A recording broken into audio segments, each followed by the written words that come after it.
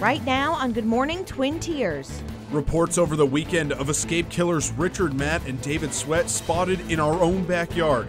We have all the details on the search, including our conversation with the possible eyewitness who saw the escapees. A brand of water bottles is being recalled for possible E. coli contamination. We'll tell you which brand coming up. To merge or not to merge? The question remains for the Horseheads and Elmira Heights school districts, who will hold a meeting again tonight. And Watkins Glen International is on the verge of being voted the best NASCAR track in the country, but it needs your help to win.